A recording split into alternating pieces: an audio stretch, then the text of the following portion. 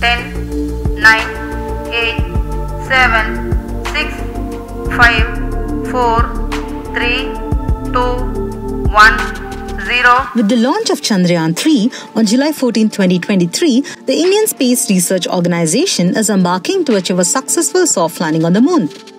Chandrayaan 3 is India's third lunar mission and second attempt at achieving a soft landing on the moon's surface. It is a follow up of Chandrayaan 2 of July 2019, which aimed to land a rover on the lunar south pole.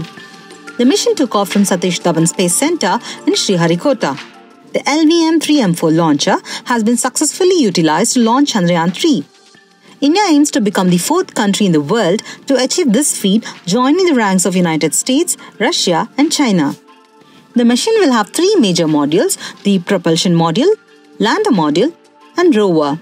The propulsion module will carry the lander and rover configuration till 100 km lunar orbit. The lander will have the capability to soft land at a specified lunar site and deploy the rover, which will carry out in situ chemical analysis of the lunar surface during the course of its mobility. The mission objectives of Chandrayaan 3 are to demonstrate safe and soft landing on lunar surface, to demonstrate rover roaming on the moon, and to conduct in situ scientific experiments. Now let's look into the importance of landing near the lunar south pole.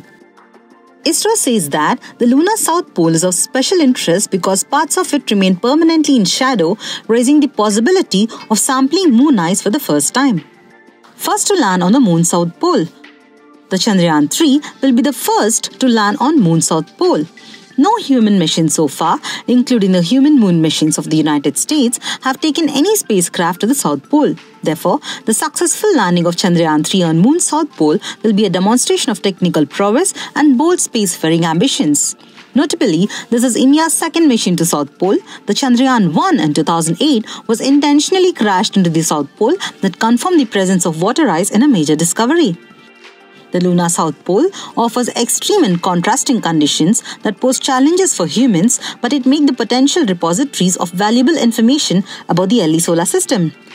Hence, it becomes crucial to explore this region, which could impact future deep space exploration.